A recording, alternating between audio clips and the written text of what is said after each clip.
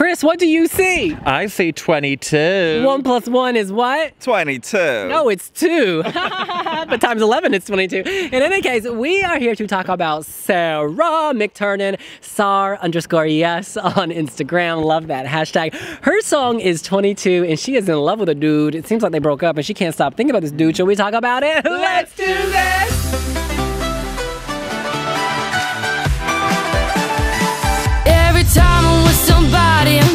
Confusing him with you.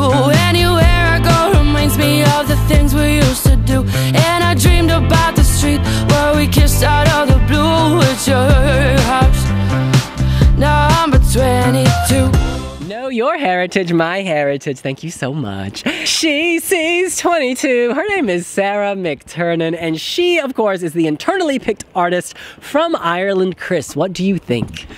I quite like it. It's quite catchy. It's very. It, it's not going to set the world on fire. It's not trying to be something bigger than um, than it is. Bigger than us. Bigger than us either. I mean, her and Michael Rice seem to be getting on really well, which is really fun. It's nice when you see Oh, things like that. a joint Instagram chat. Very personable. But that's it. There- It's, there's a personality, there's a likability factor to this, and from Sarah as well. I think that she's really, really got um, just something. There's a warmth to her, which I don't get from some other artists necessarily Yeah. with the performances that we've seen so far.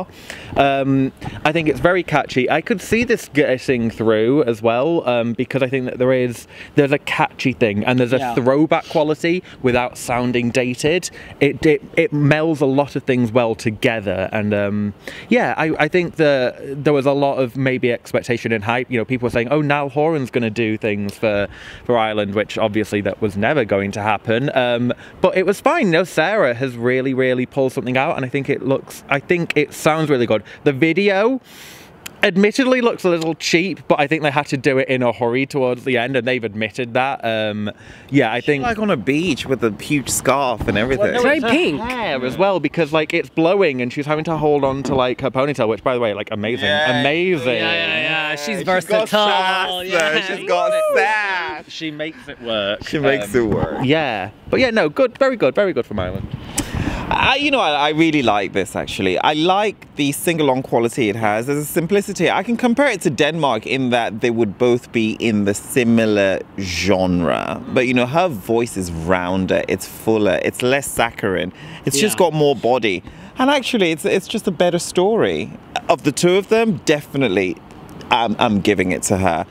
And as a song, I think it's memorable. When it comes on, it makes me happy. I'm, I'm smiling. I'm happy. You know, I, I'm not quite sure what number 22 stands for, and that what it's the door of the Yeah. And I just think that's such a wonderful way to tell a story. Yes, yes. Yeah. Based on numbers, and I think a lot of people have been giving this a low number, but they're sleeping on it because this is actually a very good song. It's a very mm. strong entry. I think it has to do with the music video. The music video, as you say, was done on a budget. If they had done this in a 1950s diner with her as a waitress being very playful and coquettish, then leaving work and going past his house, That would have been so much better. Yeah, and then people would have been like, oh my God, I love this. It's telling the story. even a lyric video where she doesn't appear would have even been stronger and would have whet people's appetite for yeah, more. yeah, Yeah. So people need to put the video to the side and realize this is a very strong entry. RT also needs to think twice. I mean, Nothing like- sounds like this in the competition. This has that throwback feel, but very modern production. It was originally written for a male vocal, Yeah. and they oh, it sounds better with her. yeah, because she has a very interesting voice. It is quite masculine, and I don't mean that as a slight.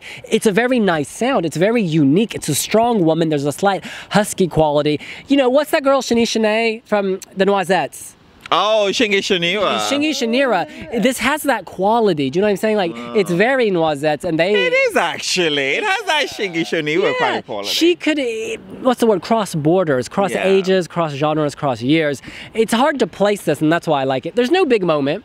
There's no like grand but climax. it's very radio. very It's- radio, very drive time. Yeah. Yeah. You can see yourself kind of just swerving along as you get on the highway. It's very pleasant, but not pleasant in the boring way, pleasant in an intriguing way. And I think in a contest where people are obsessed with peaks and climaxes, this stands out for saying bye to that.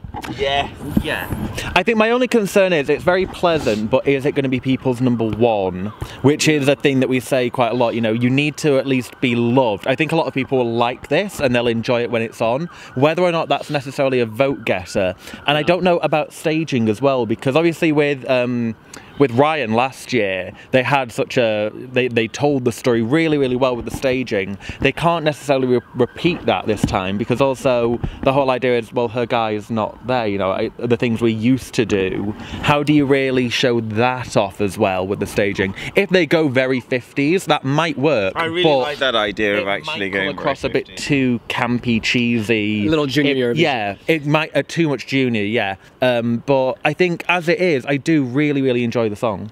I see lots of filtered Instagram type doors in the back because you know Irish people and British people have very unique doors. Maybe y'all don't realize that because you live here, but like when we see those doors in America, we're like, yes, European. So maybe they'll have all these vintage Instagram doors all over the place, and she's like walking around. If she can do some kind of walking choreography, Yeah, that would be really cool. motion. A- and Ryan O'Shaughnessy last year. I mean, I was pretty much the only person that liked that song, and I, I, I was very faithful to it to the end, and I'm glad it did well. And I mean, people across Europe did love it because they did vote for it. yeah, Uh, yeah, but I mean, deservedly so. And and I think that this also is similar in tone, in the sense that you know what, this could really surprise. I th- I think this is really good.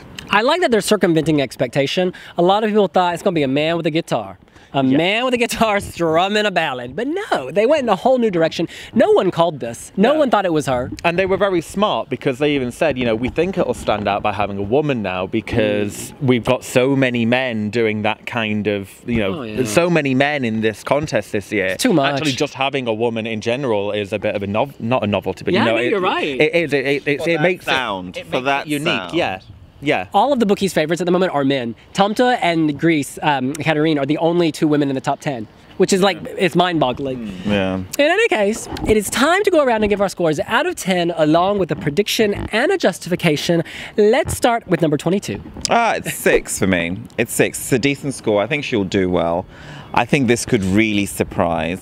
But at the moment, yeah, you know, so I- I'm judging on what I've seen so far, and the music video actually did underscore much of my ranking. If I if it was just an audio track, I think it would have done much much better. But you know, that music video is an indication of visual, and it was lackluster. My score is a 6.5. I agree with you that the presentation of the video was lackluster, but maybe they're saving their funds to have a fantastic Yeah. stage show, which is ultimately what matters the most. I think the song fits her voice.